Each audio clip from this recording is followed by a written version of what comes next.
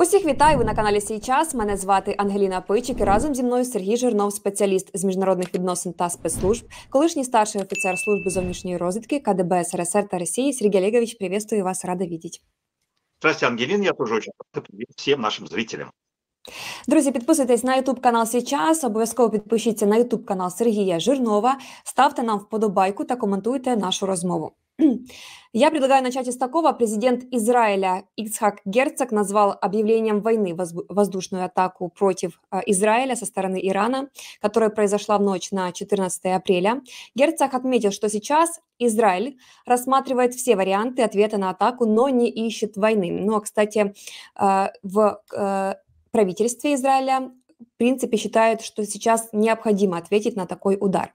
Сергей Олегович, если давать общую оценку тому, что сейчас происходит, как вы считаете, к чему может привести обострение на Ближнем Востоке? Ну, вы знаете, я думаю, что э, вся эта история, которая происходит последние э, там несколько суток, двое суток с субботы, э, mm-hmm. это очень сильно переоценено, потому что э, давайте смотреть на последствия. Да, э, атака была серьезная, да, там было порядка 300 летательных аппаратов запущено из Ирана, из Йемена и так далее. Но ни один из этих аппаратов не долетел до Израиля. Ни одна цель не достигнута, небольшое повреждение есть на какой-то военной базе и все. И больше ничего. То есть, строго говоря, э, по результату этой атаки э, Израиль не пострадал ни на одну секунду. И ему помогли в этом, а, кстати, флоты Соединенных Штатов Америки, Великобритании, Франции, которые а, сбили все эти а, летающие объекты или большинство летающих объектов еще до того, как они попали на территорию Израиля, а остаток сбил, значит, железный купол израильский, который, в общем, является самой замечательной системой противоракетной обороны, просто потому что Израиль маленькая страна. Израиль это 22 22 тысячи квадратных километров, это в 27 раз меньше, чем Украина, чтобы люди понимали, да, э, потому что вот э, поэтому, кстати, Украина и говорит, что ей нужно там 26 или 27 комплексов Patriot, и вот если на каждую область украинскую поставить комплекс Patriot, то он тоже закроет э, полностью украинское небо, и вот больше всего, кстати, в нашем украиноязычном и русскоязычном сегменте обсуждался, обсуждался вопрос того, что вот видите, как Израиль защищают небо и как защищает небо Украины. Вот. А в остальном Израиль, э, в общем, ну, практически эту атаку сам спровоцировал, потому что он, конечно, ударил а, по а, консульству иранскому в Сирии, убил там э, нескольких, ну, это понятно, что это такое шпионское гнездо, хотя защищенное международным правом. В этом смысле Израиль нарушил, конечно, каноны международного права, потому что ни, ни посольство, ни консульство э, не являются э, законными целями для каких-либо ударов. Да, потому что тогда, иначе надо тогда отменять всю международную дипломатию. Вот. И в этом смысле, конечно, Израиль сам спровоцировал этот, э, этот удар, как бы это не, неприятно было слышать людям, которые э, защищают Израиль и э, защищают, э, так сказать, его право на, на, там, на жизнь, на самоопределение и так далее. А вот если Израиль ударил бы по территории Ирана, это было одно, а консульство это, в принципе, как бы, как бы то ни было, это незаконная военная цель, это было военное преступление Израиля. Вот. И в ответ на него сделалась эта атака. Вот. Израиль, кстати, ждал эту атаку, все ее ждали, американцы ее ждали, американцы ее э, рассчитали. Байден, мы знаем, отменил свой выходной, и, в общем, понятно было, что Иран будет отвечать на эту атаку серьезно. Он э, играл мускулами, он говорил, что мы, значит, это не, не спустим это Израилю. Это, это всем было понятно. Вот все к этой атаке были готовы, и поэтому ее так, э, кстати, и э, эффективно отразили. Вот, потому что все э, задействовали все свои ресурсы, э, в том числе западные партнеры Израиля. Вот, а дальше стал вопрос, а будет ли эскалация этого конфликта, вот будет ли дальше что-то. И вот вы процитировали президента Израиля, который сказал, что это война, объявление войны. Израилю, в принципе, сейчас, я бы сказал, даже с какой-то, с какой-то точки зрения выгодна эта эскалация. Поэтому, кстати, он и отбомбился по консульству, он знал, что на это будет атака. и ответная атака. Вот, потому что Израиль понимает, что Иран находится на пороге получения ядерного оружия. И пока он находится на этом пороге, его лучше всего ликвидировать, в смысле не, Израиль, не Иран, потому что Иран все-таки большая страна, ее ликвидировать сложно, вот, а ликвидировать его комплексы ядерные. Вот, а для этого нужен повод. И повод вот сейчас Иран дал. Да? Э, и Израиль на самом деле, если бы вот так, если геополитически смотреть, должен был бы воспользоваться этим поводом, потому что массированная атака по его территории, он был, должен был провести такую же массированную атаку по территории Ирана. И все. И во время этих э, бомбовых ударов и ракетных ударов уничтожить все связанное с ядерной энергетикой Ирана. И все, раз и навсегда. Вот, и тогда будет решена проблема, по крайней мере, там на ближайшие 5 или 10 лет. А, судя по всему, на Иран сейчас очень сильно надавили Соединенные Штаты Америки, на Израиль сейчас очень сильно надавили Соединенные Штаты Америки, которые сказали, что нет, не надо отвечать там и так далее. И э, такого, такого ответа э, вот в день, когда мы с вами запишем передачу, накануне ночью э, Израиль не сделал. Вот сделает ли он это э, сегодня или сделает ли он это завтра, неизвестно. Но, в общем, он, Израиль не боится войны с Ираном, хотя у него, у Ирана есть прокси, который находится в Ливане, на юге Ливана и на границе практически с Израилем, который называется Хизбалла, а, такая террористическая группировка. Но Израиль не боится и с ней ничего, потому что он тоже по ней хочет отбомбиться и тоже решить раз и навсегда этот вопрос, потому что она ему а, доставляет проблемы. Вот, э, и у него тоже нет пока что э, такого хорошего повода, чтобы просто провести массовые э, бомбометания в сторону Хизбаллы. Ему достаточно... Вот сейчас у него, кстати, передышка в секторе газа, они выводят из, из сектора газа, вот, и, и израильтяне, поэтому, кстати, они, в общем, и отбомбились, потому что они понимают, что у них есть возможность перекинуть войска сейчас и на, на север Израиля, чтобы, если что там активизируется Хизбалла, можно было даже зайти бы на территорию Ливана и ликвидировать э, э, всех боевиков Хизбаллы, как они ликвидировали в секторе Газа большинство боевиков Хамаса, несколько тысяч, э, там даже под два десятка говорят. Вот. Так что, в общем, в этом смысле никакой эскалации громадной не произошло, ничего, не, это очень, очень сильно драматизирована вся эта ситуация. Вот все там э, средства массовой информации вчера э, целый день там транслировали буквально специальные передачи по поводу этого самого дела, хотя никакого дела не произошло. То есть произошел удар, который был полностью отражен, то есть вообще ничего не произошло, строго говоря. Были произошли просто запуски каких-то там э, летательных аппаратов, они были все сбиты. И из этого вчера устроили целый медийный, медийный цирк по всему миру. Ах, запустили 300 аппаратов. Ну что, запустили, запустили, всех сбили. То есть ни один аппарат не долетел до Израиля. Вот если бы там, я не знаю, разрушили пол Израиля, вот тогда можно было там что-то сделать. Собрали Совет Безопасности по этому поводу. Все там осуждали, ну осудили, все замечательно, все, все, все хорошо.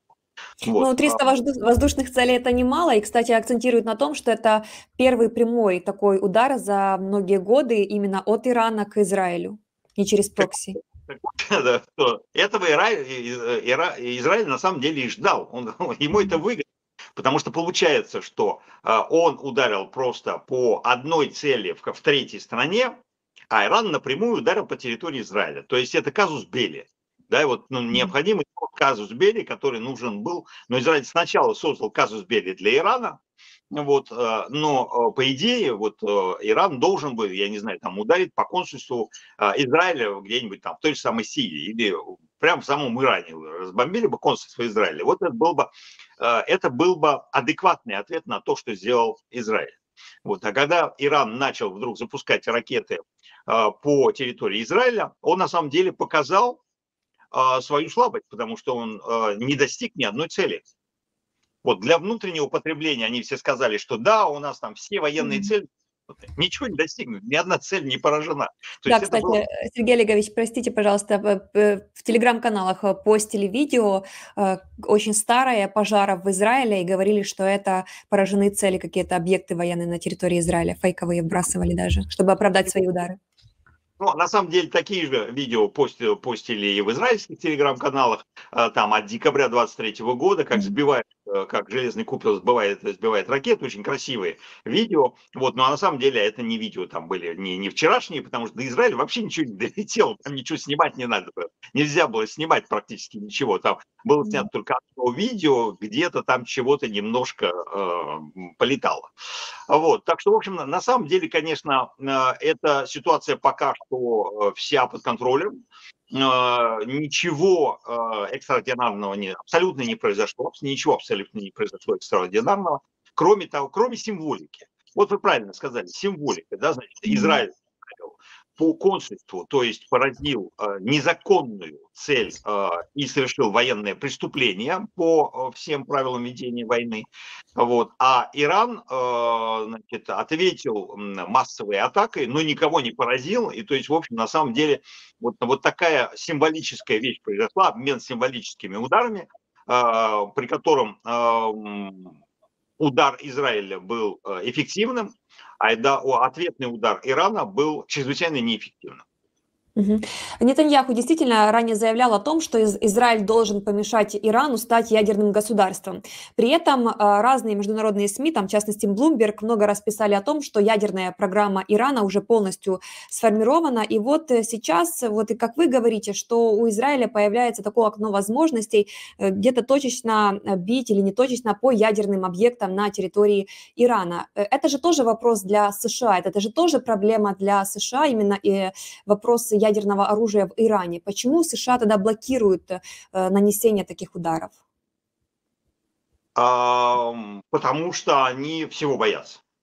Потому что Байден человек, который, э, как выяснилось, э, у него только иногда время от времени он просыпается и делает какие-то жесткие заявления. В остальном он очень боязливый человек, это видно по, э, по украинскому вопросу, да, потому что он Украину практически предал, да, вот и все. И поэтому э, он не хочет э, вообще, чтобы в его каденцию перед его выборами возникла еще какая-то война, где, Изра... где Соединенные Штаты Америки могут вмешаться, но с непредсказуемым успехом, потому что войну все-таки, как бы мы там не говорили, что Израиль технологически выше э, Ирана, но э, черт его знает, чем это закончится. И Байдену, безусловно, не нужна война сейчас в ближайшие 6 месяцев, э, когда идут выборы в Соединенных Штатах Америки. У Байдена все зациклено на выборы, на, на внутренние выборы в Соединенных Штатах Америки. Ему больше ничего не нужно. Ему нужно, чтобы сейчас все замерли, чтобы ничего в мире не происходило, и тогда у него есть хоть какой-то э, хоть какой-то шанс. Хотя на самом деле э, то, что он предал Украину, э, очень сильно подрывает его возможности его возможности победить, победить на выборах. Вот. В Израиле, кстати, тоже Израиль ему очень вредит в этом смысле, потому что на, в Соединенных Штатах Америки за Байдена голосуют леваки. А леваки поддерживают э, Организацию освобождения Палестины против Израиля. Да, и, вот, ну, это исторически так сложилось, что, в общем, правые э, в, и ультраправые в Соединенных Штатах Америки поддерживают Израиль, а левые поддерживают арабов и э, Организацию освобождения Палестины. За Байдена голосуют левые, да, поэтому ему невыгодно, невыгодны любые войны Израиля э, против арабских государств. И поэтому а, Байден все делает, чтобы заставить Нетаньяху, во-первых, а, сократить а, свою активность, армейскую активность в секторе Газа, и, во-вторых, не, раз, не, не развертывать никакую войну против других арабских государств. А, кстати, Трамп сказал о том, что если бы он был президентом, э, не было бы этой войны, не было бы этой эскалации на Ближнем Востоке. Э, как, как можно расценивать заявление Трампа? Исключительно как политическое, предвыборное? Да, это абсолютно э, глупость, во-первых, как, как обычно то, что говорит Трамп, потому что это популизм. Потому что, во-первых, история не, не, не, не как это называется, в истории не используется сослагательное наклонение. Если бы во, во рту бы выросли грибы, да, если бы он был, вот он, он не, не является президентом, поэтому бессмысленно говорить, что бы там могло быть или не быть. Вот. Он не стал президентом, и ему очень, кстати, не нравится то, что он не стал президентом. Он так и не признал, кстати, то, что Байден законно избранный президент. В этом смысле Трамп является, не является государственным деятелем э, э, Соединенных Штатов Америки, э, потому что государственный деятель должен признавать правила игры.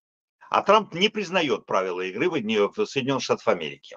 Вот, и в этом смысле, ну, кроме того, что он хам и э, просто э, чмо, мурло, вот, он просто еще не является государственным деятелем. То есть у него не построена голова, э, как для человека, который руководит первой страной в мире. Вот, поэтому все, что он говорит, это ерунда абсолютная, чаще всего. Вот. И в данном конкретном случае это точно совершенно, да, потому что э, Израиль никакого отношения к, э, так сказать, вер, вернее, Трамп никакого отношения к тому, как Израиль проспал атаку Хамаса 7 октября, не имел, и э, его э, президентство ничего бы не изменило в этой атаке. Мгм. Сергей Олегович, а, еще вопрос э, по поводу ядерного оружия. Как вы думаете, наличие ядерного оружия в одной из стран региона, как может повлиять на баланс сил там, и может ли это спровоцировать бесконтрольную э, гонку ядерного вооружения там? И Египет тоже захочет, и другие страны. Ну, в принципе, все хотят. То есть, когда, ну, понятно, когда существует э, э, такая мировая, сложилась мировая Э, ситуации, когда есть пять официальных стран э, ядерных, и э, то еще пять неофициальных. Все знают, что у них есть ядерное оружие. Северная Корея, Индия, Пакистан, Израиль и вот скоро Иран. Да? Есть, конечно, страны, которые хотели бы иметь его, наверняка захотят теперь все, потому что стран, которые могут себе позволить иметь ядерное оружие, довольно много. Их еще, может быть, два десятка. Да, это не, не, не означает, что у них будет много ядерного оружия. У них может быть всего одна бомба или две бомбы, или одна ракета или две ракеты. Но сам факт наличия такой, такой, э, такого, э, такого оружия меняет расклад сил. И поэтому Израиль не хочет, чтобы Иран официально, ну, э, как сказать, подтвержденно преодолел этот, этот рубеж. Потому что Сейчас экспертные оценки э, крутятся вокруг того, что Иран вроде бы выходит, но еще не имеет. Вот. И кто-то очень слабенький, слабее, слабенько говорит, что ну, вроде бы уже имеет, но еще об этом не говорит. Вот, э, и поэтому вот э, такой переходный период. Мы знаем точно, что у Пакистана есть, точно, что у Индии есть, точно, что у Северной Кореи есть, и точно, что у Израиля есть. Вот. А, и поэтому в этом смысле Израиль является ядерной державой и ведет себя как ядерная держава. То есть, грубо говоря, почему Израиль ударил по иранскому консульству по незаконной военной цели, совершив, совершив военное преступление? Потому что он знает, что у него есть ядерное оружие. Израиль себя в этом смысле повел абсолютно так же, как Путин повел себя в Украине. Да, потому что когда вы знаете, что у вас есть оружие, которое сильнее в любом случае на порядок, на 3, на 20 порядков, на тысячу порядков, чем у вашего противника, вы ведете себя как бандит. Израиль в этом смысле повел себя как бандит. Ну вот. mm Дальше можно там, его любить, не любить, это другое дело. Я вам э, рассказываю просто факты и оценку фактов. Да. Э, Сергей Олегович, и еще появилась информация, что глава ЦРУ попросил главу турецкой разведки помочь с урегулированием э, проблемы э, Ирана и Израиля. Пишут СМИ, глава американской разведки Бернс 10 апреля просил еще коллегу своего турецкого выступить посредником в деле о предполагаемом нападении Ирана на Израиль. Как вы думаете, сейчас будет ли пробовать Турция повлиять на ситуацию или нет? Какая роль может быть? Ахинеи я не слышал вообще за последнее, за последнее время. Потому что Турция является противником Ирана, соперником Ирана в этом регионе. В Турции 80% населения э, сунниты, а в Иране шииты. Э, то есть они религиозно, э, хотя в Турции большая э, шиитская э, община, 20% э, мусульман э, Турции. Но тем не менее Турция претендует на э, так сказать, восстановления Османской империи, на имперские замашки и просить ее стать посредником а, среди, для урегулирования вопроса между Израилем и Ираном, это абсолютно идиотизм. Это просто идиотизм. Вот, потому что она еще может там где-то там вмешиваться между Украиной и Россией, э, где она вот, вообще совсем как бы э, от слова, от слова нет, ну, а она играет очень, Турция играет э, очень значительную роль вообще на Ближнем и, Центра, и Среднем Востоке, да, потому что Турция это одна из ключевых стран, вот, если, если не сказать вообще самая ключевая страна после Израиля, у которого есть атомная бомба. Вот. Но просить, просить Турцию пойти переговориться с персами, это вообще не понимать, вообще как устроен Ближний Восток. Это идиотизм полный. Угу. Также появляются новости Соединенных Штатов о том, что спикер Палаты представителей Майк Джонсон подтвердил планы рассмотреть на этой неделе вопрос финансирования помощи Израилю, и, возможно, тоже будет рассмотрен вопрос помощи Украины. Как вы думаете, эта ситуация, как бы не звучала цинично, поможет э, ускорить этот процесс? И все же, как вы думаете, почему э, так как-то избегали украинского вопроса. Вчера целый день американские политики комментировали помощь Израилю, а об Украине не всегда вспоминали. Почему?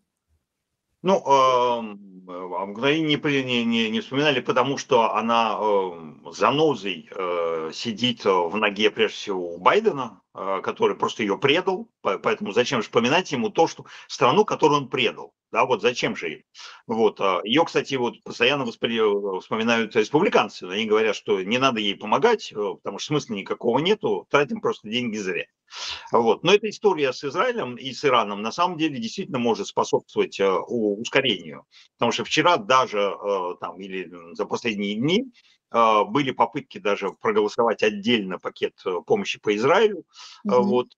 И в этом смысле, поскольку он увязан сейчас с помощью Украины, то, в принципе, это может э, ускорить э, голосование всего, тем более, что, в принципе, было предусмотрено голосование аж начиная с 9, с 9 апреля всего пакета.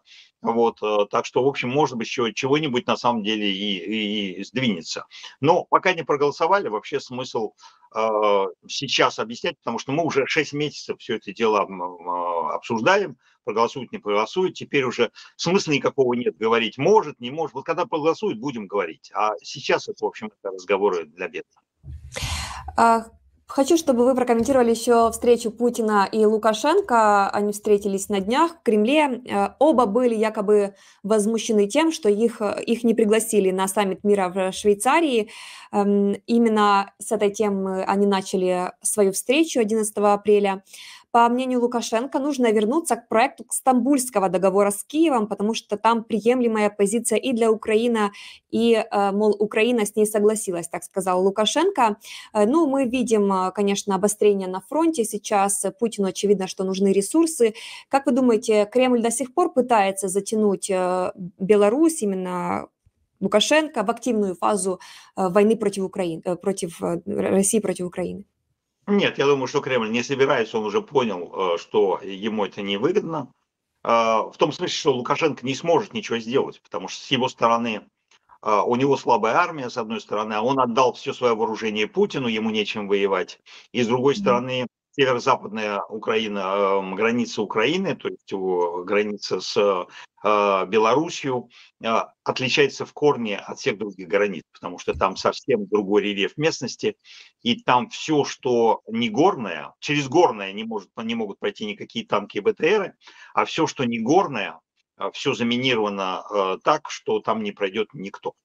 Вот, и поэтому э, нет, я думаю, что не для этого. Э, Путину, э, ну, во-первых, Лукашенко всегда едет к Путину за деньгами, это надо понимать. Вот, он зависит денежно от Российской Федерации. Вот, у них есть как бы чего, так сказать, чем гордиться в этом месяце, потому что они перед днем космонавтики запустили эту самую белорусскую космонавтику вместе с российской, с российским экипажем, значит, там три человека россиянин, американец или американка, я не помню, там и, Россия, и белоруска. То есть у них такие, как бы, есть э, некая гордость, там у Путина удалась, удался, наконец, запуск Ангары-6, э, вот он там провел еще какой-то там запуск старья какого-то э, межбаллистического, чтобы подтвердить, что оно у него там ездит и, и летает. Вот. Э, и Лукашенко поехал за деньгами, а чтобы получить деньги, ему надо было озвучить то, что было выгодно Путину. вот эта история достать старый, э, якобы парапированный э, договор между Российской Федерацией и Украиной о перемирии в Турции, это очень э, вещь, которую Путин двигает в последнее время, постоянно о ней говорит, что вот, вот был такой документ, и вообще все замечательно, и давайте мы к этому вернемся. Вот, вот за этим э, Лукашенко и поехал. То есть он это озвучил для Путина приятную вещь, а за это получит от Путина деньги. Вот, это вот смысл вообще всего этого дела. А дальше они сказали идиотизм, как всегда, потому что ну нельзя же, чтобы два идиота, когда встретились, не сказали какие-нибудь идиотизм. Вот история про Швейцарию, если бы они ее проигнорировали, то это было бы э, правильнее. А поскольку они сказали, что нас туда не позвали, да, вас туда не позвали, потому что вы являетесь Э, не рукопожатными людьми в мире. Поэтому вас... Кстати, их туда позвали. Путина туда позвали. Путин просто не поехал. Он знал, что ему туда нельзя ехать, потому что там он встретится с э, представителями 100 стран, которые осуждают его агрессию. И слушать, как тебя осуждают 100 человек, Путину очень неприятно. Он давным-давно уже отвык от того, что ему кто-то может что-то сказать, кроме э, дифирамбов э, и кроме того, что он великий и ужасный. Вот. Э, и поэтому это был идиотизм, потому что самый э, лучший ответ на э, что-то, что-то, что вам не нравится, это игнорирование этого дела. Вот. Но ни тот, ни другой не являются до конца умными людьми, поэтому, значит, они... Э, это, помните, как была такая подборка, когда Путин говорит, вот нас там обманули, обманули, обманули, обманули дурачка на четыре кулачка, и все над ним издевались, потому что он действительно идиот, да, потому что если ты 20 раз показываешь, что тебя обманули, значит, ты просто такой идиот, которого можно обмануть. Вот. А, и Путин этого тоже не понимал. И вот, значит, вот это заявление, это тоже было идиотское заявление. Сергей Олегович, а как у Лукашенко вообще дела в Беларуси со своими гражданами? Вот э, на днях журналисты э, э, опубликовали большое расследование которая показывает, рассказывает о резиденции Лукашенко на Минском море. Там огромное поместье. Создатели фильма называют это самой большой взяткой из числа тех, которые получал когда-либо Лукашенко. Ну, вы сами говорите, что он в Москву за деньгами ездит. Э, сейчас у Лукашенко ситуация под контролем или нет? Или она может выйти из-под контроля? Не забываем, какие были митинги в 2020 году в Беларуси. Она может выйти из-под контроля, но сейчас она, она под контролем. А, в наших странах, а, а, я имею в виду Беларусь и Россию, все эти расследования не дают никакого, никакого всплеска народного гнева. Да, потому что народ и в Беларуси, и в России считает, что человек, который стоит во главе страны, имеет право на всякие там резиденции, вот, и ничего нового мы здесь не узнали, кроме того, что, ну, просто мы узнали там схему, как это, как это проходило, через какие фирмы, э, через какие, э, какие строители, кто в этом получил, что за этим стоит и так далее. Сам факт не является никакой, э, так сказать, красной тряпкой для населения. Точно так же, как вот про Путина опубликовали его историю там mm-hmm. сегодня дворцом на финском, на финской границе. Ну, опубликовали. Ну, все посмотрели, ну, любопытно, да, там посмеялись по поводу приватизации водопада. Вот, и здесь точно так же. Ну, все узнали, что прописаны все его там лукашенковские дети, внуки, э, зятья, мужья, там, чего-то там, я в этом плохо разбираюсь, э, я дальше прямых родственников не понимаю вообще ничего. Вот, и поэтому это интересное расследование, оно само по себе важное. Вот когда его будут судить, то это будет доказательство, за что его надо сажать, а, потому что это явное злоупотребление, потому что там просто, надо сказать, что а, там прямое нарушение Конституции а, и закона о президенте Республики Беларусь. Да, потому что в законе о Республике Беларусь прямо поименовано, что имеет, на что имеет право президент и эта резиденция не входит в этот список, который предоставлен э, должен был ему по закону. Это значит нарушение закона, это значит, что когда сменится власть, его в том числе за это тоже ему дадут очередной срок там, или там несколько лет накинут к тому общему сроку пожизненному, который он и так получит э, после того, как будет его судить э, либо Международный суд, либо Белорусский суд.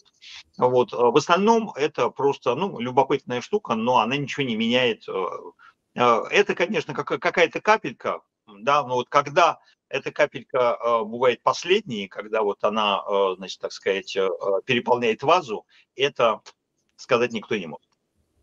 Спасибо вам огромное, Сергей Олегович, за этот разговор. Сергей Жирнов, спеціаліст з міжнародних відносин та спецслужб, колишній старший офицер службы зовнішньої розвідки КДБ СРСР та России. Сергей Олегович, еще раз благодарна. Обязательно подписывайтесь на авторський YouTube-канал Сергія Жирнова, на YouTube-канал Сейчас. Якщо ви раптом цього не зробили, коментуйте нашу розмову та ставте нам вподобайки. Спасибі.